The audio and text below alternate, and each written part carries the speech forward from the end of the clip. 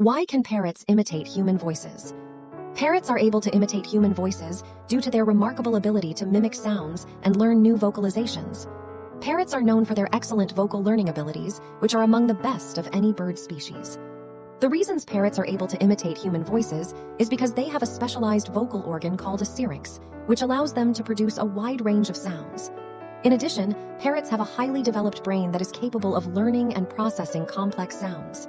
When parrots are raised in close proximity to humans, they are exposed to human speech and may start to mimic the sounds they hear. This is similar to how human babies learn to talk by imitating the sounds they hear from their parents and caregivers. It's also worth noting that parrots are social animals and use vocalizations to communicate with other members of their flock.